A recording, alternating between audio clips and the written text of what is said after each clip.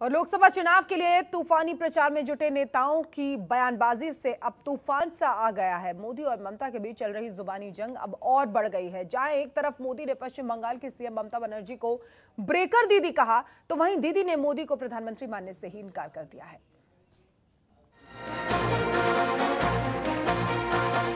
चक्रवात तूफ़ान फोनी तो तबाही मचाकर चला गया, लेकिन अपने पीछे देश में राजनीति को हवा दे गया।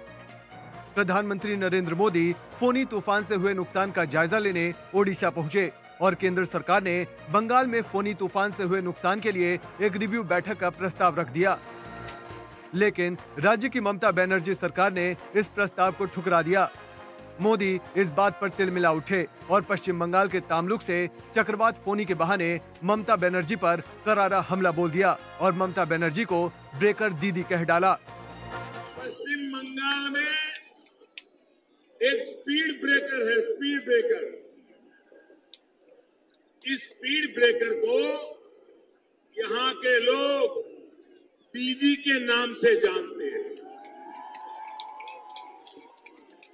ये दीदी आपके विकास की स्पीड ब्रेकर है। साथियों दीदी को गरीबों की चिंता नहीं है। यहीं से मोदी और ममता के बीच छठे चरण से पहले बयानों के चौके छक्के लगने लगे और दोनों के बीच सुपर टक्कर होने लगी ममता सरकार की दबंगई खुलकर सामने आ गई और उन्होंने मोदी को प्रधानमंत्री मानने से इनकार कर दिया হোয়াট মোদি সেনা মোদি তো দাঙ্গাবাজ লুটেরা সে কি করে তার সেনা হবে সেনাবাহিনী প্রধানমন্ত্রীর শিষ্টাচার চৌকিদার মিথ্যাচার নয় এটা মাথায় রাখবেন ममता और मोदी में जुबानी जंग यही नहीं रुकी मोदी ने झारग्राम में रैली के दौरान जय श्री राम के नारे लगवाए और वहीं से ममता पर हमला करते हुए कहा था कि पश्चिम बंगाल में हालात ऐसे हैं कि कोई जय श्री राम बोले तो उसे जेल में डाल दिया जाता है आपने तो इन्हीं वामपंथियों के विरुद्ध लड़ाई लड़ी थी माँ माटी और मानुष ने आपको शक्ति दी थी। फिर आप श्री राम को कहने वालों को जेल क्यों भेजने लगी हो? मैं आज दीदी को साफ़ साफ़ कहना चाहता हूँ। भगवान राम हमारी रगों में है। लेकिन ममता भी कहाँ चुप रहने वाली थी?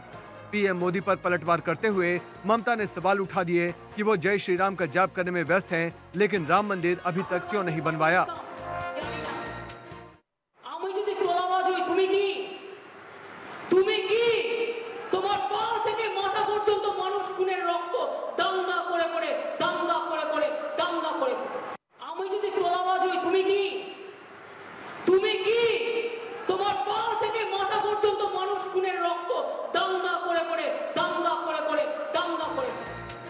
दरअसल, पश्चिम बंगाल के चंद्रकोण में सीएम ममता बनर्जी का काफिला गुजरने के दौरान बीजेपी कार्यकर्ता जय श्री राम के नारे लगाने लगे, जिस पर वो भड़क गई ममता ने काफिला रुकवाया और कार से उतर आई और नारेबाजी कर रहे लोगों पर बरस पड़ी।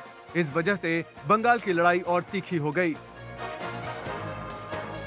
लोकसभा की ये चुनावी जंग अब जुबानी जंग में तब्दील हो गई है लेकिन ये बात भी कहना गलत नहीं होगा कि मोदी को फिर से प्रधानमंत्री बनाने की राह में ममता सबसे बड़ा रोड़ा साबित हो रही हैं।